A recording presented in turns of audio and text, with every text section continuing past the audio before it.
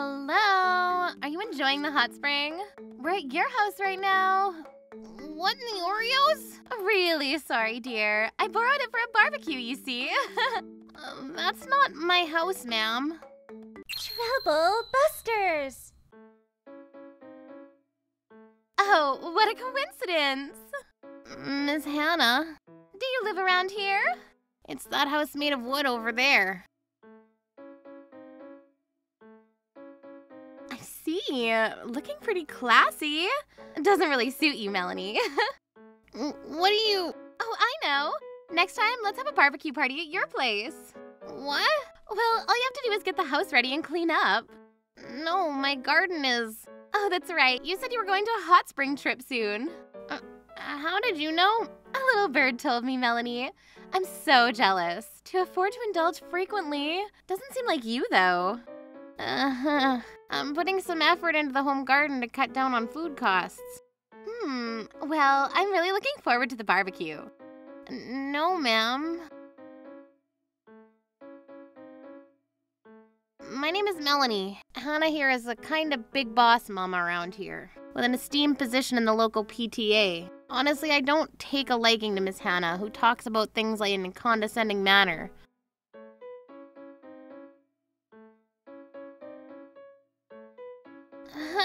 Was so much fun.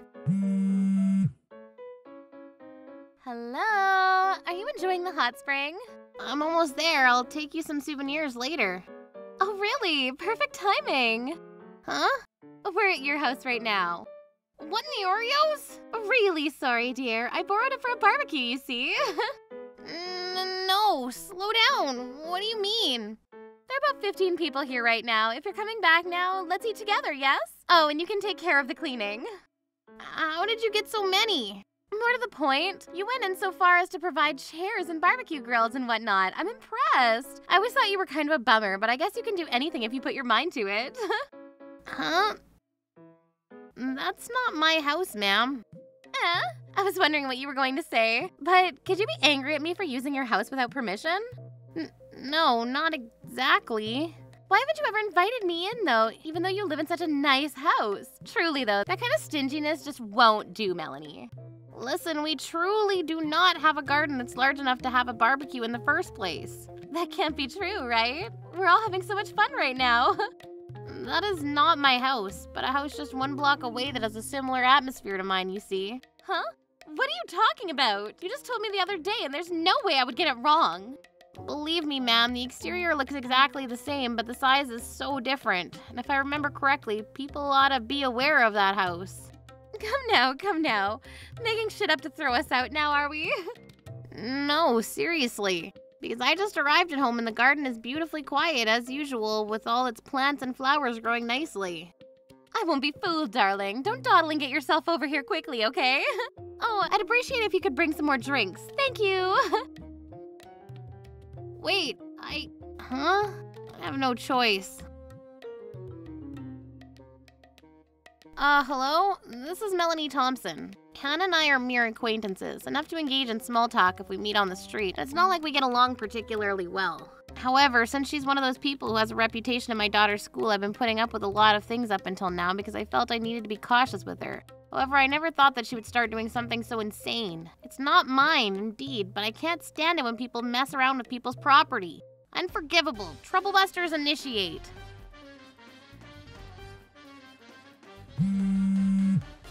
Hello? When's the beer coming? It's all gone. As I said earlier, that is not my house, so I suggest you clean up quickly. What is going on here? Huh? Who are. You were too late. What do you want, sir? What the frick are you thinking? Being so many in someone else's garden without permission. And I was planning on using that brand new barbecue grill tomorrow. And you Anton, and who is the main frickin' culprit?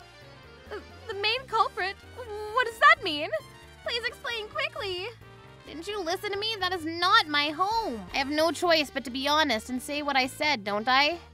N- No way. Are you the damn mastermind? Yes. No, sir. I thought this was the house of someone I know. I never dreamed that someone I didn't know would be living here. Eh, that kind of bullshit won't work on me, bitch. The truth. Uh, it is the truth, sir? Listen here. I spent dozens of grand on carefully tending this garden. I guess you know what will happen if you trample on it like this, eh? Uh, um, I'm really sorry about this. If this can be fixed with an I'm sorry, we wouldn't need the frickin' police. I was gonna invite people to this garden for a party tomorrow. Whatever it takes, get it back to normal. B- b- back to normal? I really didn't know. That kind of money. Please help me. Oh, you didn't know? And you think I'm gonna forgive you? This house. This house is a property of Del Diablos, who protects this little patch. D- d- d- Del Diablos, The famous motorcycle gang? We were fooled, sir. I was told this was a friend's house, so I ended up hosting a barbecue here, and if I'd known it was someone else's house, I wouldn't dream. Please believe me. Aha. So you say you really don't know anything, eh? It's all the fault of the person who deceived you, eh? That's right, that's right. We just did what we were told to do and had a barbecue here. That's who should be blamed. If that's the case, bring her here right now. Now! Hello, Melanie? You heard everything, right? Huh? Don't tell me I'm not the one who deceived you, am I? It is so, because you didn't explain it properly. Isn't that unreasonable? You assumed everything, not even letting me explain. Listen up. Don't leave a speck of dust behind. I don't know what Master would do if he found his garden in this state. More to the point, where the frick is that traitor of yours? Well, she lives nearby, so I think she'll be here soon. Um, Hey, you're late. I told you to come right away, eh? It's only been about 10 minutes. Uh, um, she's here, sir. Hmm? This is the person who lied to me and let me have a barbecue at this house. Perhaps she was trying to get us all in trouble from the beginning. What are you saying? I wouldn't dream. You bitch. Listen, you just play along, all right? Understand? Explain yourself! I never thought she would deceive us all like this. This was terrible, Melanie. Not her. You, you lying hussy. What? Me? There's no way it's frickin' okay to enter someone's house without damn permission. Enough lies! What's going on? Do you two know each other? Well, I was also very surprised when this gentleman first talked to me. I often exchange information about home gardening with Mr. Warwick here. Exchange information? The reason I was so surprised at first when he approached me was because he said the vegetables I was growing were excellent, but as I talked with him more, he turned out to be very enthusiastic about learning about vegetables. Huh? Huh? Master, my father loves fresh vegetables, and whenever he was out for a walk, he would always look at Mrs. Thompson's garden and admire it. I suppose it caught your eye even more quickly because the houses look so similar. Um, I'm not telling any lies. Huh? Melanie was definitely the one who said this was her home. Are you still saying that? I'm sure she was jealous of such a spacious house, Mr. Warwick, was it? There's a certain side to Melanie here like that.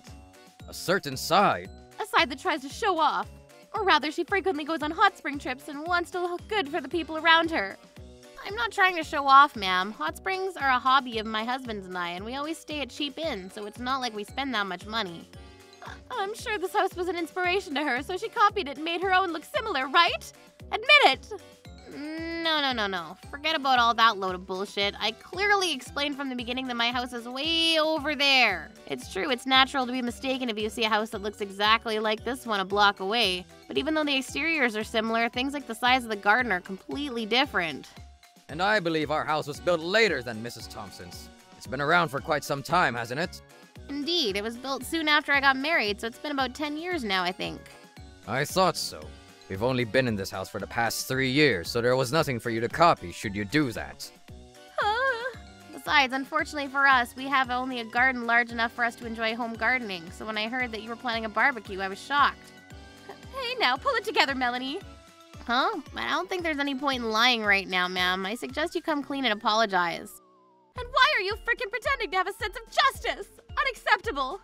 I believe this is more like something that should be natural as human beings. You know that if this continues, I'll be in a huge trouble, right? If you are an acquaintance of his, you probably shouldn't mind negotiating with him about money of my pleads of mercy and apology to him, eh? That's impossible. We are acquaintances indeed, but only enough that we only have a connection about growing vegetable gardens and nothing more. Your responsibility right now is to do something about this regardless. Hey, what are you two whispering about? No, you see, Mrs. Thompson will never admit that she deceived us all. You understand? Listen, Mrs. Thompson here passionately enjoys growing her vegetables. She taught people like us the joys of growing vegetables at home, see? There's no way a woman like her would ever invite people into our garden without permission. Uh, how can you say such a thing? Have you considered you wouldn't understand her true nature if you only knew her at the level of discussing home gardens? And what about you, eh? What do you know about her? Melanie always compliments our garden, see? Vegetables that grow in a place like this will be delicious, she says. You know she'd know what would happen to her if she beckoned people who are too stupid to even know what's right and wrong into her garden. I can tell you without a doubt that she would never do that. Mr. Warwick, thank you for believing in me, sir. What? The environment is important when it comes to growing vegetables, so anyone who gardens at home will probably think that they don't want strangers in their garden, you see. That doesn't matter? It does matter. You still don't seem to understand what you've done, making the vegetables we've worked so hard to grow look like piles of trash. I told you, did I not, that my coming would make your position even worse. You're the one trying to make my damn position worse. Wouldn't it be nice if you could just cover for me a little? Why would I do that? Shut up! More to the point, maybe it's your fault because you gave confusing explanations. If you knew there were similar houses out there, you should have told me that from the beginning, right? In the beginning, I never expected you to do something so selfish, and I wouldn't deliberately go out of my way to explain things. It's your fault you own a similar house. This house here is also a vegetable garden, which is exactly what I heard from you. You didn't tell me your garden was so small that you couldn't have a barbecue. In the end, it's all your fault. I tried to tell you that I couldn't host a barbecue, but you kept talking over me and didn't want to listen. That's always the case, isn't it? Even when we discuss something important during PTA meetings, you keep making all the decisions. I think everyone's getting really tired of that, wouldn't you agree? What the hell? Do you want to say that everything is my fault? Who else is there to blame? It wasn't like we intentionally wanted to trash the place, so isn't that enough, right? I thought it was Melanie's house, so it couldn't be helped, understand? Couldn't be helped? That's right. If I'd known it was a stranger's house, would I have done something like this? No. That's ridiculous. What is? Even if it was my home, it would be outrageous for you to barge inside when I'm not home and invite a bunch of people over for a barbecue. Th- that's. Even though I told you I garden, what's the point in destroying the produce of property that isn't even yours? I can only assume that you did it on purpose because you hated me for whatever reason. Even if things broke inside, even when they pulled out the vegetables, even if there was graffiti left, right, and center, you would only laugh and watch on because it would be my house. That right there is what's ridiculous. Because. Mrs. Thompson is right. It's embarrassing that a grown adult like you can't even tell what's right and wrong. I have no hope for humanity now. I feel so sorry for your kid being raised by such a clodpole. Uh, Back to business, because you know, Mrs. Thompson, I wouldn't report to the police as long as I get my money. If you can't prepare $50,000 right now, c- c- can't it be split up? 50,000 is not an amount of money we even have at home. Even if I were to ask everyone for contributions, I don't know about 50 grand. All of it, now! M- Melanie, we're friends, right? Please, I'll pay you back once my husband's bonus comes. Please don't say we're friends only at a time like this. Excuse me? You little. Well then, you're okay with this? Yes, sir, you can sue for burglary. I don't care. Understood. If Mrs. Thompson says so. No way! You're joking, right? My husband finds out about this, he might divorce me. No, I don't want to get caught. Can't be helped. You're the one who caused all this. Go on, talk to the police and reflect on your actions. No, please. And Mr. Warwick promptly alerted the police. Miss Hannah was arrested, caught red handed on charges of burglary and property damage. Because it was her first crime, she was fined, but as expected, her husband issued a divorce against her. Now she's been offered work in the adult industry and is doing everything until the garden is restored to its original condition. Ah, Mrs. Thompson! Mr. Warwick, I'm so sorry about the other day. Have things been going well? Well, I had to answer the master quite a bit, but I managed. So was that other dumbass. It's been tough for you too, I see. Why, yes, it was, thanks to you. I feel like I don't have to worry every time I attend a school PTA meeting. From now on, I will actively participate for the sake of my daughter. Troublebusters.